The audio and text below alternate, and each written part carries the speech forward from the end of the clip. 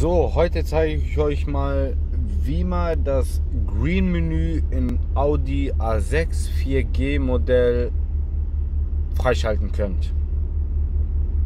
Und zwar, so, jetzt zeige ich euch das mal. Moment, ich drehe mal die Kamera. Hm, na? So, Green Menü.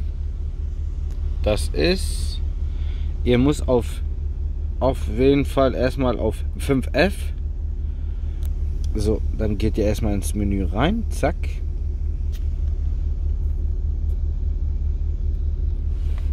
So, wartet ihr. Der ladet und ladet. So, anpassen. Ne, das war unscharf. Na, komm schon. So. Anpassung. Zack. So. Dann sucht ihr euch diesen Punkt Kanal 6.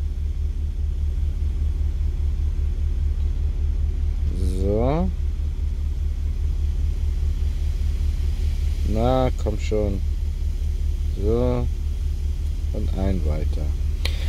So, bei mir war der Wert vorher auf 0 Ihr müsst den auf Wert 1 setzen, damit ihr das Green Menü aktiviert. Das steht ja auch selber. Inaktiv auf 0.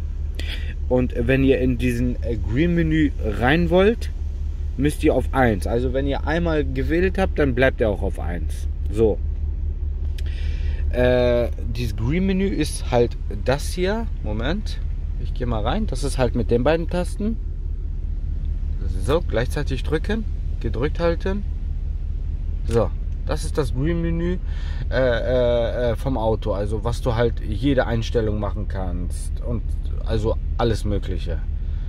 So, gehen wir wieder raus aus dem Menü. So, das war's erstmal. Kommentare sind sehr gern. Könnt ihr, könnt ihr ruhig schreiben. Die sind erwünscht. Und ähm, da würde ich sagen, bis zum nächsten Mal.